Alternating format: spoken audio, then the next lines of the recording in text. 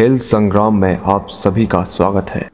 Ranji trophy के दूसरे quarter final मुकाबले में दिल्ली ने मध्य प्रदेश को सात विकेट से हराया। इस जीत के साथ दिल्ली ने सेमीफाइनल के लिए क्वालिफाई किया, जहाँ उसका मुकाबला बंगाल से होगा। जबकि पहला क्वार्टर फाइनल मुकाबला मौजूदा रणजी चैंपियन गुजरात और बंगाल के बीच खेला गया, जो ड्रॉ के साथ खत्म हुआ।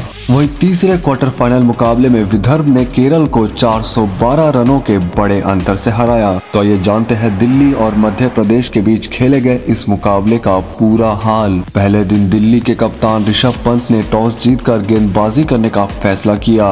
पहली पारी में बल्लेबाजी करने उतरी मध्य प्रदेश की टीम के लिए ओपनर अंकित डेन ने उनसठ रनों की पारी खेली। नमन ओझा ने भी उनचास रन बनाए। वही हरप्रीत सिंह ने नॉट आउट एक सौ सात रनों की शतकीय पारी खेली। खेली हरप्रीत ने अपनी इस पारी में पंद्रह चौके जड़े। इस तरह मध्य प्रदेश ने अपनी पहली पारी में दस विकेट पर तीन सौ अड़तीस रन बनाए। जवाब में उतरी दिल्ली की टीम के बल्लेबाजों ने बेहतरीन खेल दिखाया। कुणाल चंडेला ने इक्यासी और ध्रुव शौर्य ने अठहत्तर रनों की पारियाँ खेली। वही हिम्मत सिंह ने इकहत्तर और कप्तान ऋषभ पंत ने उनचास रन बनाए। इस तरह दिल्ली ने पहली पारी में 10 विकेट पर 405 रन बनाए और मध्य प्रदेश पर सड़सठ रन की बढ़त हासिल की। दूसरी पारी में बल्लेबाजी करने उतरी मध्य प्रदेश के बल्लेबाज दिल्ली के गेंदबाजों के आगे बेबस नज़र आए। पुनीत और हरप्रीत के अलावा मध्य प्रदेश का कोई भी बल्लेबाज दिल्ली के गेंदबाजों के आगे ज़्यादा देर नहीं टिक सका। पुनीत ने जहाँ 60 रन बनाए, वहीं हरप्रीत सिंह ने 10 चौकों के साथ 78 रन की पारी खेली। इस तरह मध्य प्रदेश अपनी दूसरी पारी में दो सौ तिरासी रन पर ऑल आउट हुई और दिल्ली जैसी टीम के सामने 216 रनों का लक्ष्य रखा।